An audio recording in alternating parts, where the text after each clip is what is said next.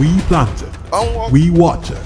The fullness of time has come, and God has brought the increase. Join our guest speakers, Dr. and Mrs. Tunde Bakare, and hosts Maureen and Bailey Oshimakile at the Envoy Nations Harvest Summit and second year anniversary holding on the 23rd and 24th of September 2022. Venue is the Mercure Grand Hotel, Granby Street, Queens Hall, Leicester. This is your season of harvest. Envoy with a commission. It's been 30 years of relating with Dr. Tunde Bakare. I met Pastor in 1993. And um, ever since then, he's been my spiritual father. I've, I'm one that never had two spiritual fathers, ever. It's been one and only for 30 years. This year makes it exactly 30 years. We met when I was in secondary school, and I've been following him ever since then. I'll tell you more tomorrow. But because tonight I just want us, I sense in my spirit that there's so much to unpack. So I, I just get out of the way and we can just get into it tonight. With a standing ovation with Jesus Joy, please receive with me my father, Dr. Tunde.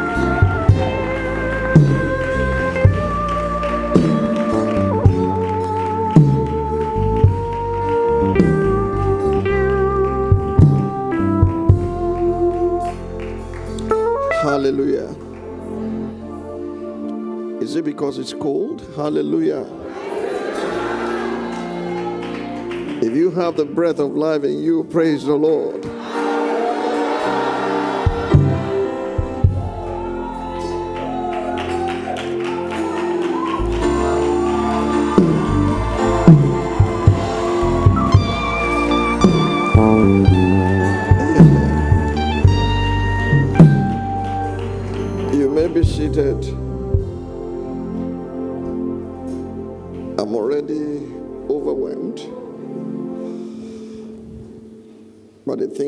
Sense in the spirit.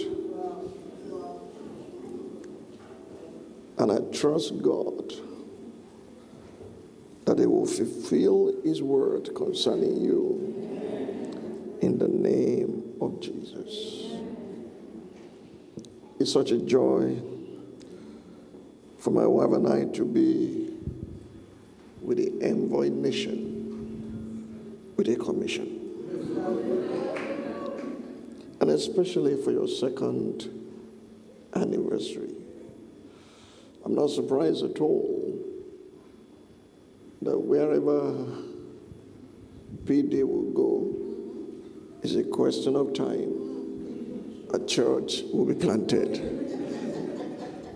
And I know this is not the last one. Don't be shocked when he bids you goodbye and he goes to another city.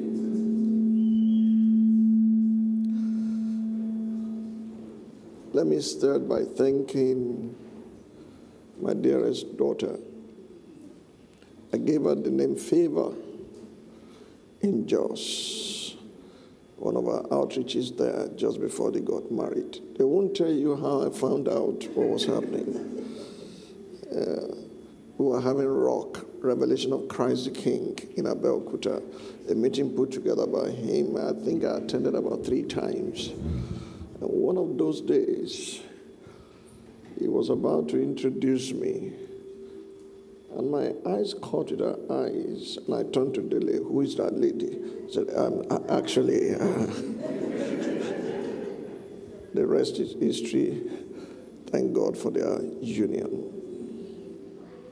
Um, I want to thank you for being a solid supporter of your husband in prayer and in many other ways. I once asked my wife, I said, why do you just follow me? We left in Nigeria for vacation in 1994 to England. The third day we got there, the Lord said, Stay in this land till I tell you to return. That simple sentence or word lasted 18 months. And we obeyed. We wanted to plant a church. We paid for space and everything. What would I be doing? I already planted a church in Nigeria. I'm going to be here for a long time, indefinite. What would I be doing here? So we got a hall. We paid. We did everything. Three days to uh, our takeoff. The Lord said, I didn't bring you here to plant a church. I brought here, you here to strengthen churches. We ended up commissioning six ministries in those 18 months. By the time we returned home, two thirds of our people were gone. I saw a hall that was almost empty. And as I got there that morning, my heart was almost uh, completely broken. And God said, I knew later it was in the Bible. He said, I want you to order for 50 dozen more chairs. I look at empty hall. Lord, what are you saying? He said, order for 50. Okay, I obeyed. And I announced that we are going to order for 50. The people looked at me as funny. And I heard, you will not see wind, you will not see rain, but you'll find water. You know what? In less than a month, we had to fill to buy more chairs. Wow. Because people heard I was back, some returned, new people came. And I turned to my wife and said, Why do you always follow me? He, she had already filled up the freezers with food and everything before we came on short vacation in case there will be crisis. He said, You know what? I know two things. You love God, you love your family, you never put us to danger. You can be rest assured that my son will always do the same. Thank you for supporting him all the time. You call him PMO. And what does that mean? Okay. Your PMO is PMO, right? Yes, My PMO is different. My PMO is PMOW, Prayer and Ministry of the Word. uh-huh. That's what my PMO is. I gave her that name when she wrote the book, uh, the Proverbs 31 couple. Thank you for being there. And Dele, you know, we can't stop loving you. Of all my sons in the faith, Dele is the one who lived in the same house with me yes. throughout his youth service and was there, rain or shine, and followed me everywhere you can imagine. Now I'm following him. because I had no business in Leicester, but he had been putting pressure. Um, whenever you want to come, sir, anytime you like to come, sir. And I just picked my phone one day and I said, um, What's your calendar like? I have only one space for the rest of the year. September 24. I don't give that date out because I got born again today, 49 years ago. so it's not a time to spend with you, it's a time to invest. Yes, I would do like Paul as if I'm passing out as if I'm going away. It's not your time to go. But the deposit you receive today, I'm not spending time, I'm investing time. And the Lord showed me a vision overnight. He said, You're going to find out in the days to come that time will be more expensive than money. You have always said time is money. I saw some things in the night that it would take a heavy load of money to tie someone down to do something for just a moment. I pray that investment this day will yield rich dividends in the days to come in the mighty name of Jesus. Thank you, PD, PhD. And how can I thank Professor Kolade for being such a devoted servant of God, apart from being an academic? Uh, Many of you have not been to the Citadel. He's been there. He came there and gave me a book. I'm still trying to figure out to understand uh, the composition and the, the level of uh, sophisticated language used in that book. Thank you so very much. God bless you. You may be seated, sir. Uh, all the way from Manchester, and all the way from Abuja. I don't want to share the rest. God will raise people to just be there for you. If there is anyone I know who is praying heartily, not for what to get from me, but for what the Lord has put in his heart concerning me, it is this wonderful couple, Dr. Babajide and Pastor Shola Olowo. You call him Olowo Dollar, some call him Olowo Dollar.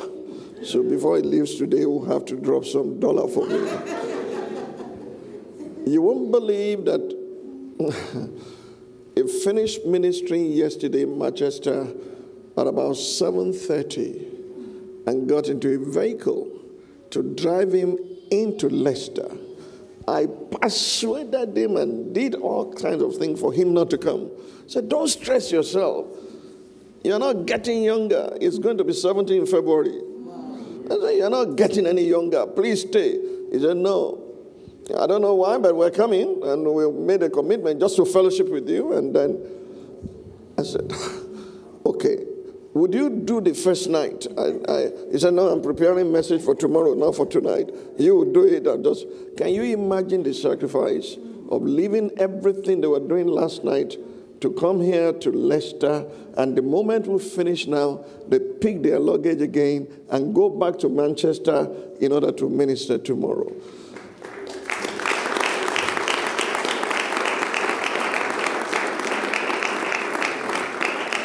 I told my daughter today, I said, the highest title God ever bestowed on man is that of a friend. And then she said, How about a son? That's who we are. Our title is we are his friend. He's made us his friends. I never, I no longer call you servants. I call the day you find one friend that is true. Please keep them with both hands because they are very, very rare. Many people you call your friends, according to Dr. Somra, is that they are acquaintances, and a number of them are fair weather cocks. Would you please receive the greeting and the prayer of my friend, Dr. Babajide Olowodola. Thank you, sir. Let's rise and pray together. We cry in our hearts that the Lord will rent the heavens, that the latter rain and the former rain will come together today for us. No one who is here today will not be wet as you go back. It's a night to remember. It's a night that is unforgettable. Amen. Eternal Rock of Ages, we are thankful and grateful for this time. It is a day you have made in the which you have ordained that we should rejoice and be glad. Daddy, the time is now. And we ask that the heavens will open. Let the dew of heaven come, O God, gently on everyone. Give us a fresh Pentecost. O God, that we will see your glory in this place. As of the only begotten of the Father, that is full of grace and truth. Holy Ghost of God, please have your way. Have your way without restraint. Have your way. Daddy, please have your way. Lord, please have your way. Lord, please have your way. Lord, please have your way. Lord, please have your way. Let your word be fire in our bones. Let it be hammer over our hearts. But we live here changed children of God. Thank you, our Father. The glory of this service is at your feet. Thank you, Daddy. Daddy, you have the right of way.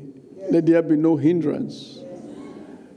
Our prayer is in Jesus' name, and God's people say, Amen. Amen.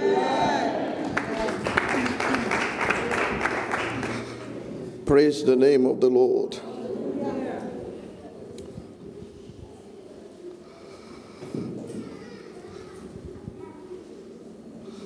I like to lay foundation for tomorrow. And I want you to please give me your maximum attention. I'm so glad that you are the envoy nation with a commission. And as I meditated on the theme of your conference, your second year conference, Harvest, the picture of the mountain envisioned by Isaiah came very strong to me. In Isaiah 25, verses 6 and 7, Isaiah began to speak about a particular mountain. In verse number 6, he said, And in this mountain, the Lord of hosts will make for all people a feast of choice pieces. If you don't understand that, you have to go back to the day before Prophet Samuel met Saul, who become king. And he said, There are some part of the sacrifice that I preserved for you. Because God had spoken to him the day before. By this time tomorrow, I'm bringing one that will be captain over my people to you. And while he performed the sacrifice, he kept a portion for a man he had not met. You know, something needs to happen to church once again. That we understand and know the person, the power, the presence, and the purpose of the Holy Spirit to prepare us before time will come so that we can possess the future in the present. On this mountain, the Lord of hosts will make for all people a feast of choice pieces a feast of wines on the lees, of fat things full of marrow. Have you ever taken uh, goat meat?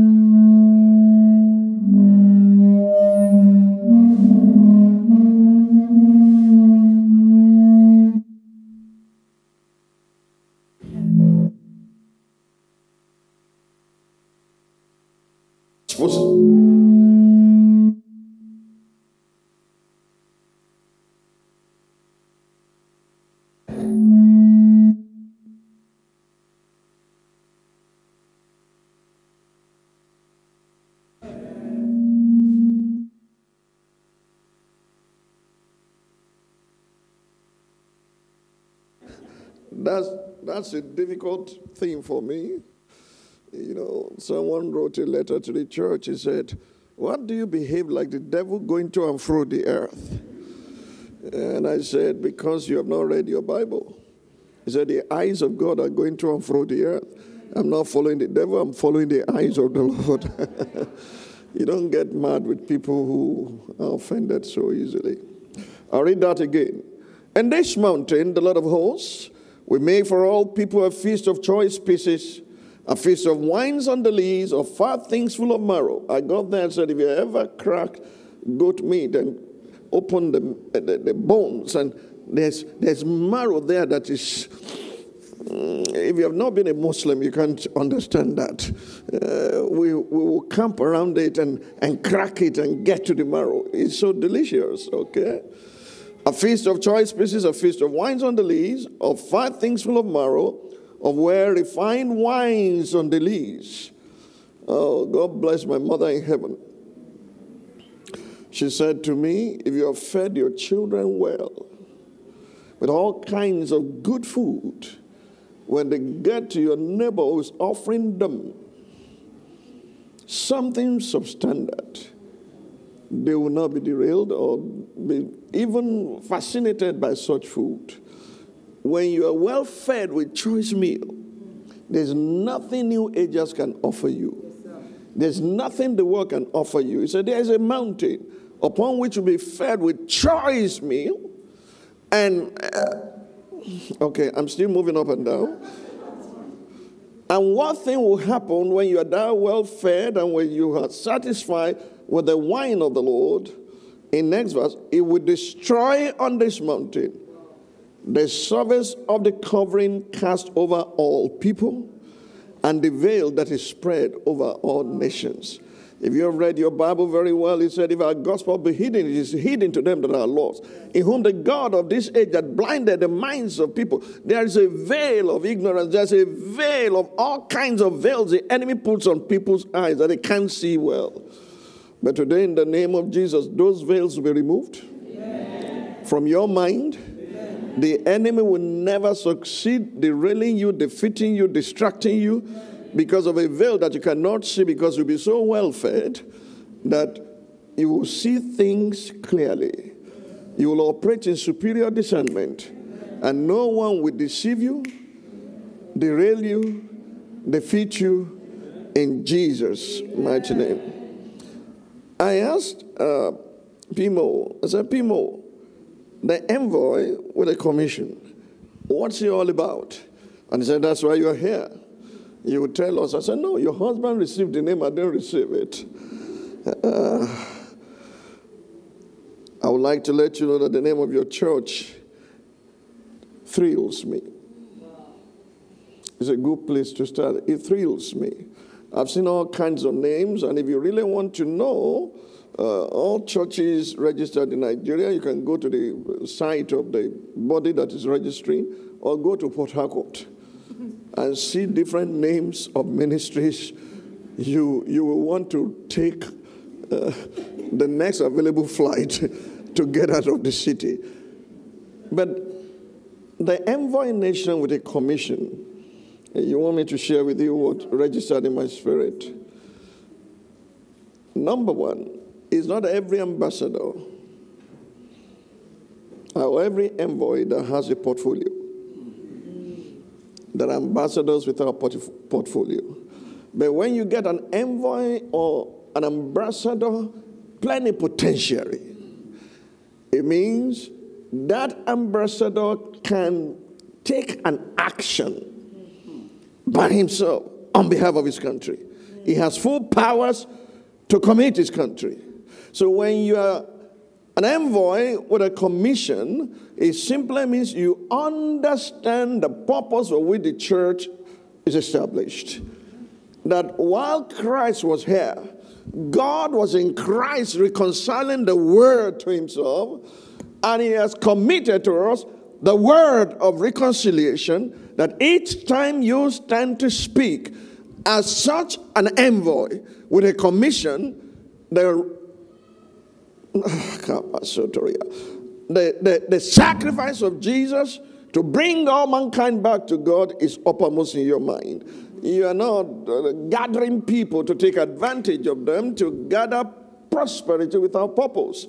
You are there because God has finished the work and He has now positioned you to be an envoy with a commission to bring people back to Him. And that's the thing you are seeing. And that's what is thrilling me. We are 200, we are 400. You are going to leave this place soon. And appoint new elders to continue to, because you are going to another place. And you will still go to another place. And we are not finishing till we finish. Tell your neighbor there's no flying, there's no flying. till we finish. If you want to go to heaven, go quickly. You meet him coming from heaven to come here. You meet on the way, and we'll all be here together with him. That does not mean heaven does not exist. Heaven is real, and heaven exists. But I know that heaven was not created for God, it was created for man. And many people don't know that. He wants heaven to be over us is in us, is with us, is over us. He wants the days of heaven upon the earth that we will carry heaven wherever we go. That heaven is in our heart, not just necessarily a location where we'll go when we die. To be in the spirit is to be in heaven. I had a voice that says, Come up here, and I will show you the things that will happen hereafter. Immediately, I step into the spirit, and a door opened in heaven. Are you conscious that the distance between heaven and earth is no more than the conversation distance between Nicodemus and Jesus? He said, No one has ever ascended to heaven at any time except the Son of Man who came from heaven and who is in heaven now. And every time he wants to circumvent what I call the, the, the world creation process, he will just look up to heaven and make things happen. He will take five loaves and two fish and look up to heaven give it into their hands, and they will feed 5,000 people. Uh, I don't want to go into that because we are here because of harvest, all right? Uh, when I saw the name Envoy, I was still figuring out Envoy Nation with commission. Then he sent, he said, The theme is harvest. I said, This man has killed me. He has a way of putting pressure on me because many people don't understand what harvest is.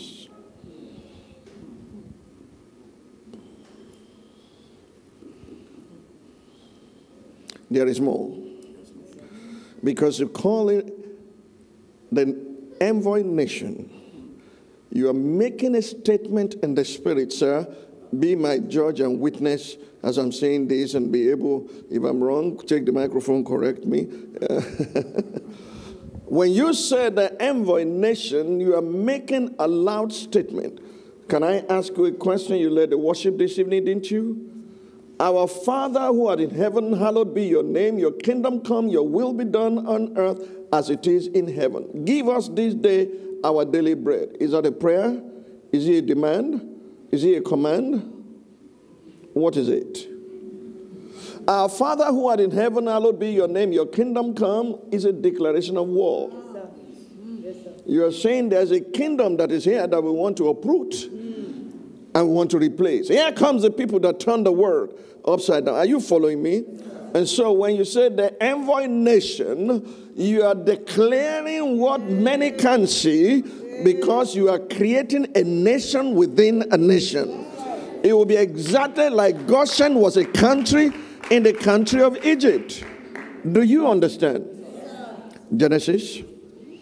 I'll get to have it soon. I just want to deal with this name because it thrills me. Genesis chapter number 47. Please pay attention. Joseph was already in Egypt before he revealed himself to his brothers who sold him. Genesis 47. And if you look at verse number 11, and Joseph situated his father and his brothers and gave them a possession in the land of where?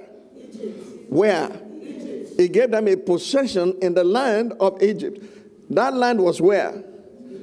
Is it part of Egypt? Okay. In the best of the land, in the land of the Ramses, and as Pharaoh had commanded. Go on. Then Joseph provided his father, his brothers, and all his father's household with bread according to the number in their families. Next verse. Now there was no bread in all the land. Oh, you didn't get that. There was no bread in all the land for the famine was very severe, so that the land of Egypt and the land of Canaan, where they migrated from, languished because of the famine. So, what has Goshen become at this time? Was it still in the land of Egypt? You say so. But look with me Genesis 47, verse number 27. Genesis 47 27. So Israel dwelt where? In the land of Egypt, where? In the country of Goshen, and they had possession there and grew and multiplied exceedingly. Only God can create a country within a country. Do you understand? So when he says you are envoy nation, he was creating a holy nation within a fallen nation to bring the fallen back to God. I'm not sure you're getting me. Someone will read that and said, Oh, Goshen was on the countryside. What I read in my Bible, he said, and Goshen was a country within a country. You are a holy nation, a peculiar people. You are in the world, not of the world. You are here to raise the standard of God's kingdom and bring them back to that standard. Do you understand? So when you hear envoy nation with commission, you know you are different. You have to be different in order to make a difference. You can't just blend with everyone and just go along with them. No. I don't mind being alone. As long as God is on my side. If God is on your side, there's no other side. Tell your neighbor if God is on your side, there's no other side. Hallelujah. I want to thank my son for your kind invitation to be here. And um, I look forward to a wonderful time tomorrow. In your video advert, I followed it keenly to get what's in your spirit. He said, This is your time of harvest. Anyone who believes that here? Or you didn't? You just prepared the video. You didn't. You didn't see it. Oh, there it's written. I heard it. I saw it written. This is your season of harvest. How many of you believe that? My friend said to me as I sat there, I said, But there is no harvest without seed. You remember he said so, sir? Good. Have you been sowing good seed? Bow down your heads. Father, the entrance of your word brings light and understanding to the simple. By the auspices of the Holy Spirit, we receive now inspiration, illumination, and revelation. Because you are the Lord of the harvest, we trust God that no seed sown in the past will go without a harvest. Even when men have forgotten about the seed, you, the Lord of harvest, will bring forth their harvest in this due season in the mighty name of Jesus. We acknowledge you as the Lord of the harvest, and we trust you that we will not labor in vain or bring forth for trouble.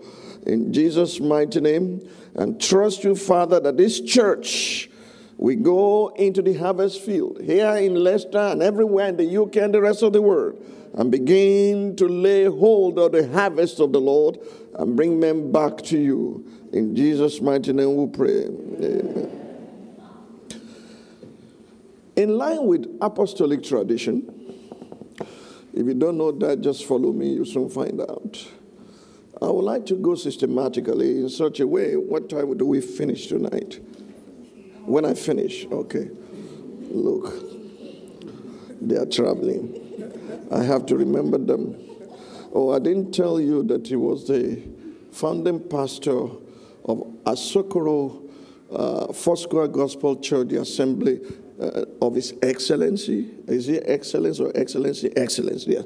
And is now the chairman of Omega Global Mission. There are people we are partnering with, and I'm not going to encourage you to do so with them because they sustain many missionaries all over the world who could not provide for themselves yet were in the field. And they've done that over the years. And uh, we will continue to do a little bit to encourage them. And uh, in Jesus' mighty name, amen. Okay. Thank you for being here today.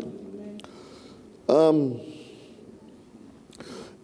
and in the apostolic tradition of the lives of Apostle Paul, their standard when they get to a location, a territory, is not just to preach, it's to give the whole counsel of God. You know, I don't like going to churches in the UK to preach. I've done a bit at by God's grace, commission several ministries. I don't like going there because they will spend all the time dancing. I'm not saying it's not worship, uh, but sometimes it's entertainment. And they will spend all the time dancing, they would spend all the time raising offering, and then they will bring you from across the seas and the oceans and say, Sir, you have 40 minutes. God is my witness for today and tomorrow every day that I try to prepare a message, I'll wake up at 3, I'll finish about 12 noon the following day. And then you come and say, You have 40 minutes to go. But also because my friends are traveling, I have to be careful tonight because I was at the Foursquare Life Theological Seminary. Temidara was the uh, provost then, or Reverend Temidara. And I said, How long do I have? He said, As long as you will. They just killed a cow that they were going to cook. So everybody left the cow and came to the hall. They gave me the microphone at 8. I dropped it at 3 a.m. The cow went bad. I won't let that happen today. I will not preach the everlasting gospel because we still have a whole service tomorrow. All right? And it's going to be fun. I'm just laying foundation. I want you to have the whole counsel of God. So I've chosen as a title for my message today and tomorrow. Are you ready? Yes. Apostolic dimensions of the harvest. Apostolic dimensions of the harvest. And um, when you hear such a title, someone would like to ask Are there other dimensions like the prophetic and evangelistic dimensions of the harvest? Yes, there are. I bless the name of the Lord God Almighty for the good memory of my father mentor, Dr. Lester Frank Sumrall. He taught me these things to identify and to know the differences in the giftings called the ascension gifts. But for him, uh, bringing that elucidation, I would think we are all doing the same thing and we are all after a common goal. Yes, a common goal, but the graces are different. If you want to understand the difference between the apostolic dimension and the evangelistic dimension, you go to Samaria. There you will see a man by the name called Philip. He was a deacon who became an evangelist. And he encountered a sorcerer there who submitted to God and he was baptized, yet iniquity and poison of bitterness was still in him. The evangelist could not locate it until the apostles came. Mm-hmm. Mm-hmm.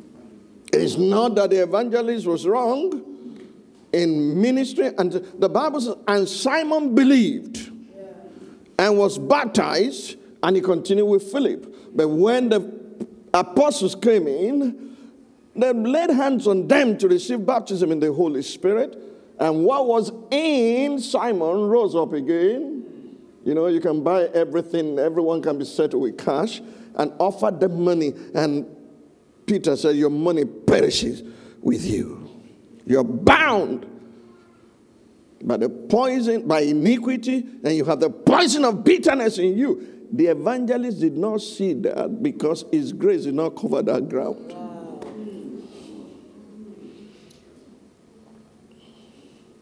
So I'm not trying to say one is better than the other. Can I teach you what my father taught me? He said the, the role of the apostles is to govern. Look through your Bible and you will see they continue steadfastly in apostles' doctrine and fellowship. Look further in Acts chapter 16 or 15, you will see that when there was dispute over circumcision, it was the apostles and elders that solved it. And you step into Acts of the Apostles, chapter 16, it was the decree of the apostles and the elders that were delivered to the church, and the churches were strengthened and they increased. Mm. Don't explain it away. The role of the apostles in the body of Christ is to govern. That does not make them dictators, but they are governing in the spirit. They can pick things faster. Why? Because it pleased God that apostles and prophets, alongside with Jesus Christ, the chief cornerstone, will be the foundation of the church. You can't explain it away. What do the apostles do? They govern. How about the prophets? the guide. The guide. You can go through your Bible and see Agabus in the New Testament. It will tell you a famine is coming. It will tell Paul this is what will happen to you. Their role is to guide. And there's a prophetic dimension of the harvest. If you want to understand that, you go to Amos chapter 9. I'm laying foundation tonight, and you will see where Amos prophesied that the seasons will collide, that the reaper will overtake the man who is sowing, that the season will collide in your life, and you'll not be able to say whether this is sowing season or reaping season because before you put the seed down, harvest had come. And the way to trigger that prophetic dimension is to obey the word of God. You read in Leviticus 26 that when you begin to obey the statutes, the judgments, and the commandments of God, and you make it a lifestyle in your life, the seasons will collide. You have to carry out the old in order to bring in the new. I've experienced that again and again, and I'm almost saying to God, I'm tired. I will look in my wardrobe and take 30 suits, 30 shirts, 30 shoes, and give it out. I've had enough. Don't give me this anymore. And before I say Jack Robinson, the place is full again. When you begin to live in that, uh, operating that type of lifestyle, you don't know whether it's sowing season or reaping season because the seasons collide over your life. I'm going to go into some deeper things. So, what do the prophets do? They guide. What do evangelists do? They gather. Their role is to gather. And if you want to understand, that's why a person like Philip, we gather ekoga bakuba motikara okode ekoba you just gather all kinds sorcerer witch we you will just bring them to church and if care is not taken you begin the ministry of deliverance that's all you spend your time on I don't want to mention names, but the only mountain that has fire is not Zion. Okay, let me leave that. because upon Mount Zion shall be deliverance and holiness. The house of Jacob will possess their possession. What mountain had fire that Moses was so afraid? Oh, you know, Mount Sinai. There's those who are there. Their major preoccupation is deliverance morning, afternoon, evening. They deliver today, they deliver tomorrow, they deliver next tomorrow. And you just jump into it and see the crowd because evangelists gather. Pastors don't just gather, they guard. They're willing to lay down their lives for the flock. And the good, the great, and the chief shepherd is the Lord Jesus Christ. Is our example. I'm, I'm going to have as I'm laying the foundation. Do you understand me? He said, The good shepherd lays down his life for the sheep. A clear example among human is David, who fight with the lion, who fight with the bear just to protect the life of the flock. Good pastors don't take advantage of the flock, they provide advantage for the flock. They feed them with knowledge and understanding so that they will not be dismayed, they will not be afraid, and they will lack nothing. And if you have a bunch of people who lack in your ministry, you should be held responsible because you're not feeding them with the right stuff. Okay, I can go home. Apostles govern, prophets guide, evangelists gather, pastors guard, and teachers ground them in the word. They ground them in the word. You can look at Colossians, you can look there, and it says, Be grounded. You're grounded in the word of faith, and you're rooted, and you are built up in Him. That's their job. They are not competing, they are not in competition. See, you take the prophets, the apostles and prophets out of the church, you have a church without foundation. And if you really want to believe, you have to read 1 Kings chapter 5, verse 17. Give me that and see why there are three of them as foundation. 1 Kings 5, 17. I'm waiting for you to give it to me on the screen. Thank you. And the king commanded them to quarry what? Large stones and what? Costly stones and what? Hewn stones to lay the foundation of the temple. How many types of stones?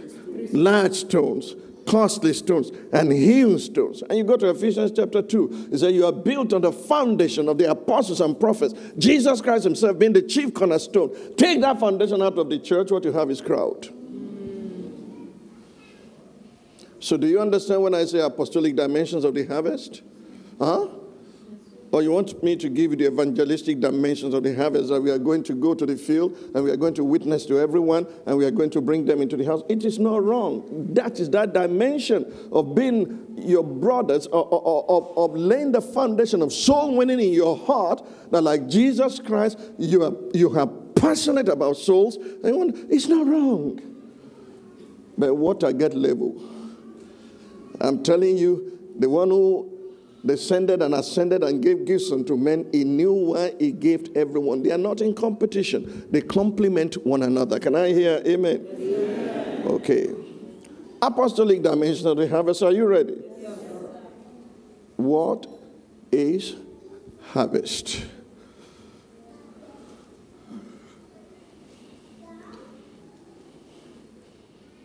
You know, when I come to churches where I see them in jeans, some of them torn, some of them not torn. I, I ask them, who tore you? They said, no, that is, is it's fashion. I'm not against it. When I come, I know these are Google generations. So please turn to Google and put harvest. And see what it calls harvest. Go there, go there, go there. Please don't, if you have Wi Fi, go to Google. To the Google generation, the symbolic, I'm reading from Google. Uh, in order to catch you, I have to start somewhere because you will not listen. I was told that in England about two years ago now that we have a problem in the UK. Our children don't listen to us, they go to Google for everything. Are you part of Google generation or Holy Ghost generation? Let's read Google first.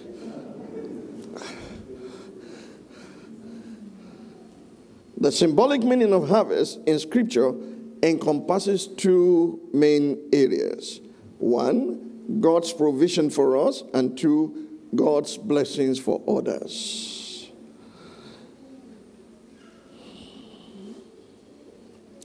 May I tell you, as true as this may be, the harvest that we have in our lives don't belong to us.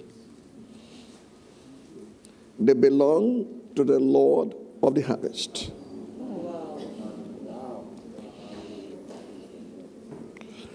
Uh, can I can I just uh, uh, play on words a little?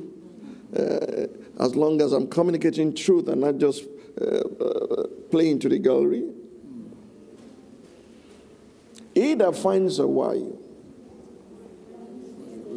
finds a good thing and obtains the favor of the Lord. I was joining a couple in uh, in um, the Onifade's son in Italy. And I said, Do you know this woman? He said, Oh, yes, we grew up in the same church. I know her. And that, I said, You really know her? I said, Yes. Okay. After you're married tonight, when will she become pregnant? He said, I don't know. what type of child will he have first? Will she have first? I don't know. When she's pregnant, will she be as good looking as this? Or she will be spitting and the neck will be long? He said, I don't know. I said, You think you really know, but you don't know. Marriage is the only school you get certificate the first day you enroll. Yes, sir. So that the exams can follow. Ask Professor Kolade. In other universities, you go through sessions of examination to become qualified for the next class. In marriage, you get certificate first. Tests will follow. But see, he that finds a wife finds a good thing, obtains the favor of the Lord. But how about the fruit of the womb? Children are the heritage of the Lord. The fruit of the womb is his reward. So, whose fruit is he? His. But you think the harvest is yours? No, those children are not yours, they are his. Your job is not yours. The salaries you earn is not yours. Somebody gives you strength and health to be able to do that. They are part of his investment in you so that it remains a lot of harvest over your life. Wow. Wow. All right. Enough of Google. But just know that our jobs, our careers, our professional skills, and our trades belong to the Lord of harvest. The money we earn from everything we do belongs to the Lord of harvest, including our bonuses. They are His. Now, let me go straight to the apostolic dimensions of the harvest. Are you ready? I can hear you. Hmm. I have to jump so many things. Ah, yeah, yeah, yeah, yeah, yeah, yeah, yeah. Mm. Whenever you hear the word harvest, what comes to your mind? Our choir leader, when you hear the word harvest, what comes to your mind?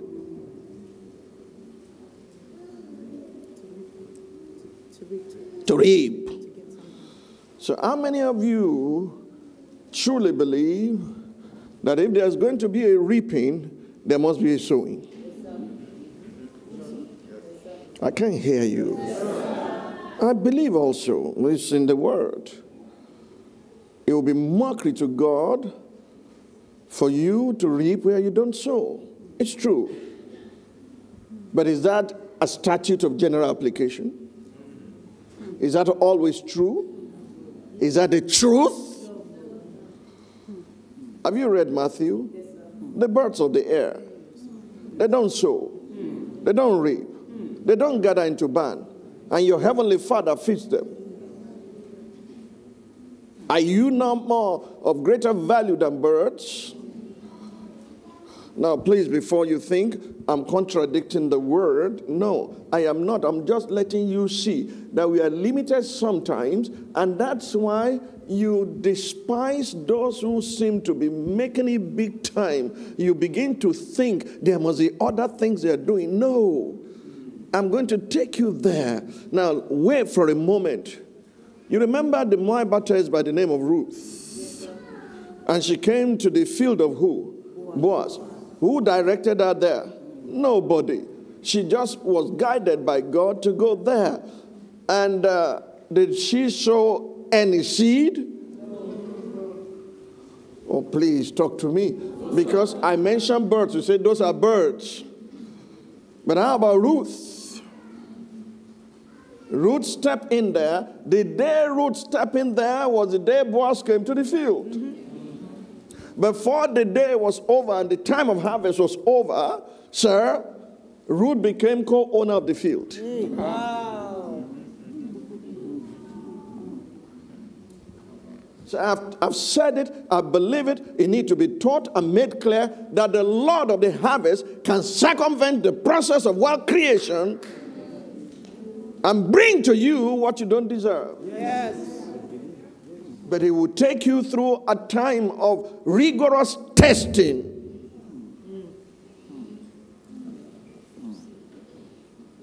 He does not use an untested vessel. Okay. Now, here is the balance there's no sowing without reaping, but there can be reaping without sowing. Huh? There can be reaping without sowing because somebody apart from you sowed.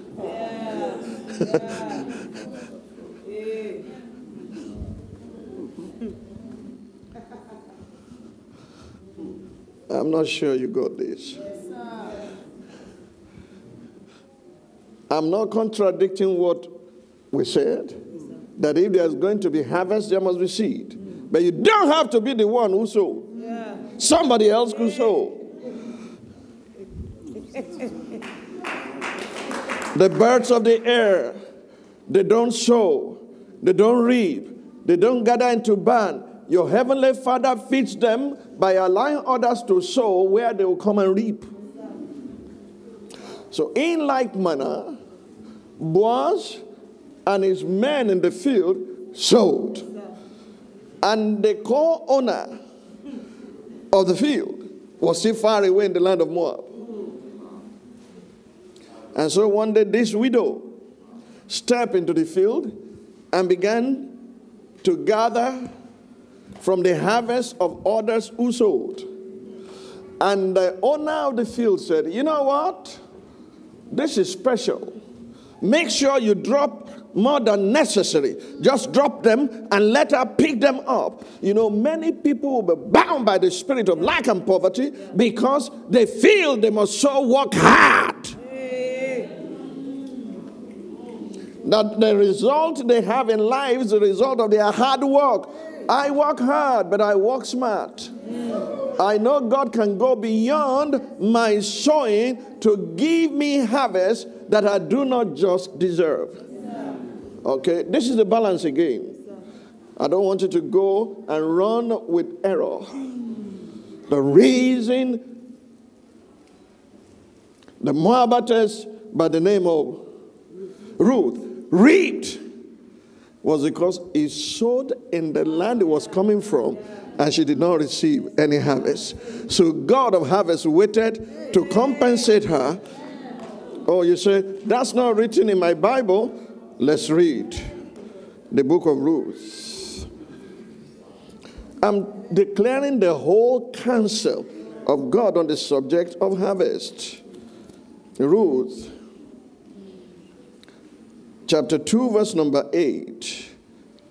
Or let me start from verse number 4. Let's start from verse number 4 to see that for 10 years, this woman labored in the house of the Elimelechs, had no child. She had a sister who was married to the second brother. They both were not having children. Their husbands died. It was time for Naomi to go back. Ruth and Orpah's clave unto her. And then they said they will go all the way with us. Uh, uh, uh, uh, Even if I marry tomorrow, there's no child left here, and I have a child. Will you wait? No, no, no, no. Go back to your family. Go back. The Lord be with you. And Orpah kissed her mm-hmm. goodbye. And as she turned back, Ruth brought the final card out. Go back along with your sister and go back to your gods. And she said, No. Whither thou goest, I go. Where you live, I live. Where you die, I die. Whether there will be husband or no husband. The Lord do more so to me if I leave you alone. She became persuaded. He said, You have paid the price. Let's go. All the labor of that period that she had no significant harvest for, the Lord of harvest kept it for her. Your payday is around the corner. In the mighty name of Jesus. Ruth chapter 2, verse number 4. Now behold, Boaz came from Bethlehem and said to the reapers, The Lord be with you. And they answered him, The Lord bless you. Then Boaz said to his servant, who was in charge of the reapers, Whose young woman is this? There are some things I can't explain to you except you have experienced them. Was she the only woman in the field? What stood her out?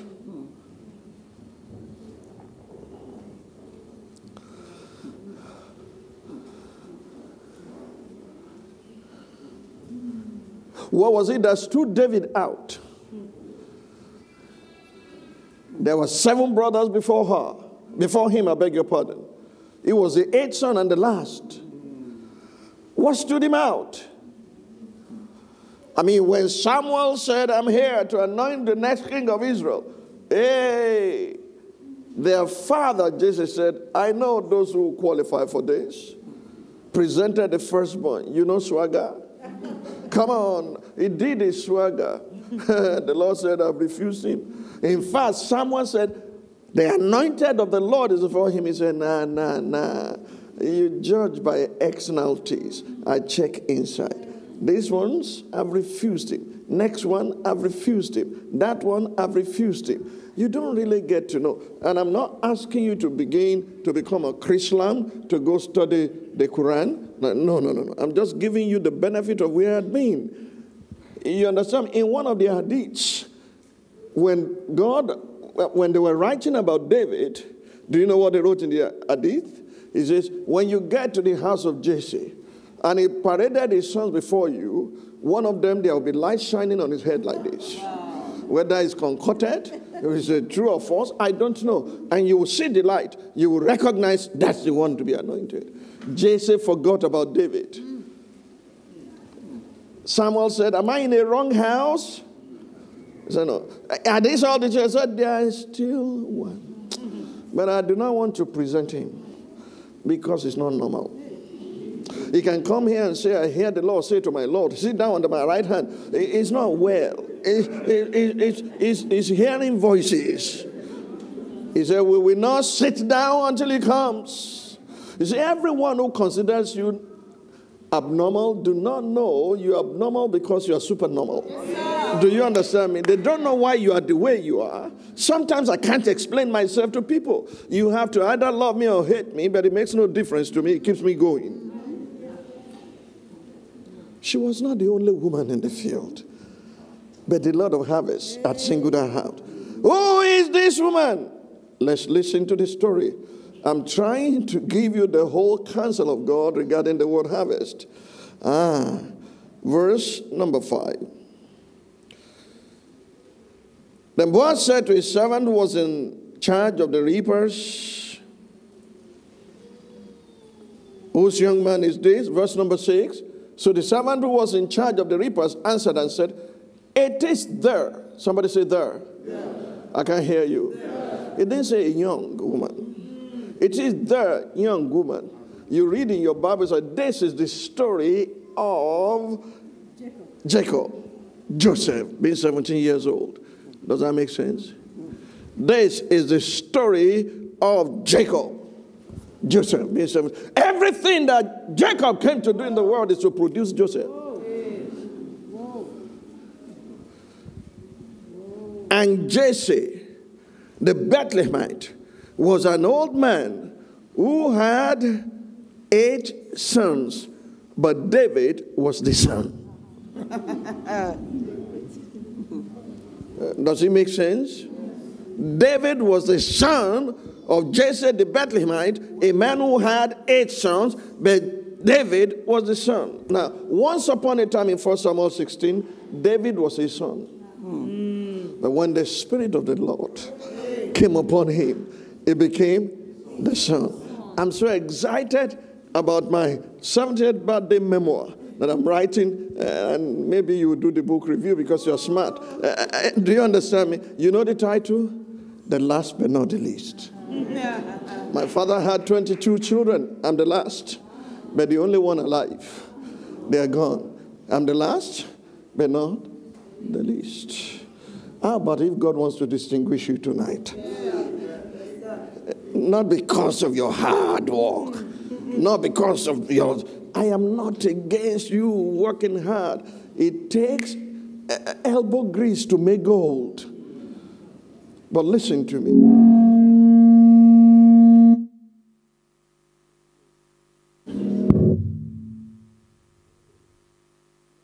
Yeah? All right.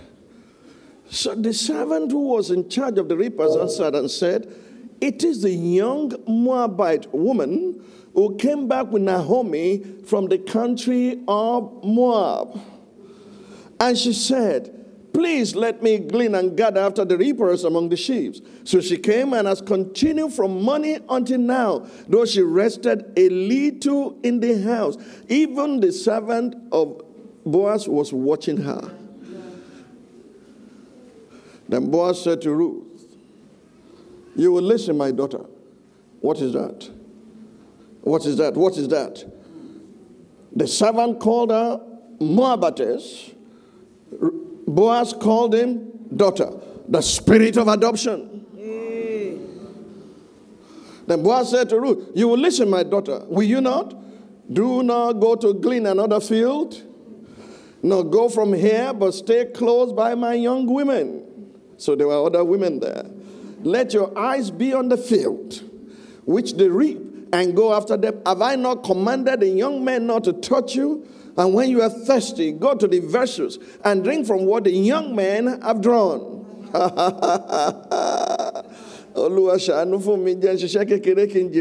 sorry, I'm in England. Uh-huh.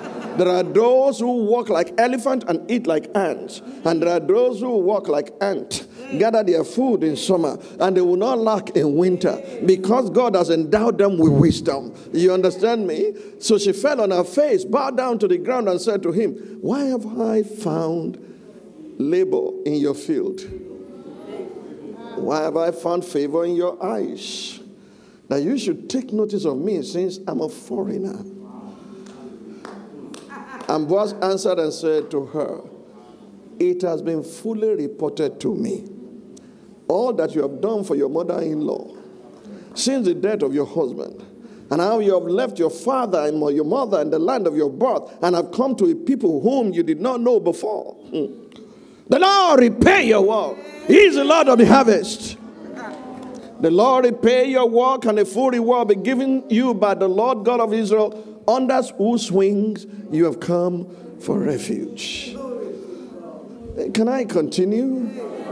Then she said, Let me find favor in your sight, my Lord, for you have comforted me and have spoken kindly to your maidservant, though I'm not like one of your maidservants. I don't even fit into the class. He's the one that qualifies those who are not qualified.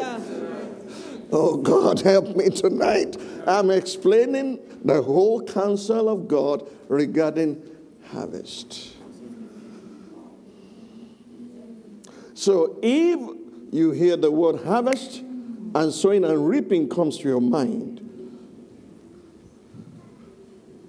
you may be materialistic. But I will not judge you because there's another sowing that brings harvest. And we'll deal more with that tomorrow, but let me introduce it to you. Is sowing the incorruptible seed of the Word of God that brings the harvest of choice souls into His kingdom. It's not just material things. When you hear harvest, there is harvest of souls. But some will have to labor to sow the seed, the incorruptible seed of the Word into hearts of men who may not receive it today or who are still pondering in their mind. So you find Paul planting, Apollo watering, and PD comes to reap. Can that happen? John chapter 4. Do you not say in four months will be harvest? But I, the Lord of harvest, I'm saying to you, lift up your eyes and see. The field is white already. I'm sending you to reap where you do not bestow labor. Others have labored. You are entering into their harvest. Can I hear amen? My Lord.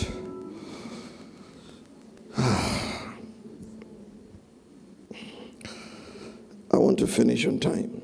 Am I making sense to you? I want you to stand to your feet momentarily. I want you to pray to the Lord of harvest to send you as a laborer, not into sowing. You didn't hear me. Pray the Lord of harvest to send you into his harvest because others have labored the Lord Himself had done some work, but the harvest is ripe and it does not want wasted efforts or ripened harvest that will go into waste. Ask God to send you into that place, that time, so that you'll be the right man at the right place, the right woman at the right place, in the right time for the right seasons. In the name of Jesus, don't just hang on your what you have done. Begin to turn to the Lord of harvest to send you to put in the sickle because the harvest has come. Lord, we glorify you today. We bless you for what you're enriching our lives with regarding harvest today. You are the Lord of harvest. And I'm asking you, Father, that you send the people under the sound of my voice today to your harvest because the harvest is ripe. The laborers are few, I pray that they will put in their sickle and bring in the right harvest into the kingdom in this season and this time in Jesus' mighty name. Please be seated. Let me spend the next 15 minutes or 30 max to round off this message. Did you gain anything today? Are you sure? Uh-huh. Are you going to be doing Ishelanla OKKK? Ishelanla means heavy duty walk. You walk so hard, but you reap so little. Do you know? Do you know? Do you know? Do you know that you know that the harvest is always greater than the seed? Yes, sir. Yes, sir. Do you have a clue? What's your name again? Tayo. Alafia Tayo is my bag carrier. He offered to carry my bag, so I'll give something to him. Is that okay? Tayo, how many seeds are in a mango? One seed. How many mangoes can be in that seed? So you see the evil you do to yourself when you eat your seed and don't leave some to sow.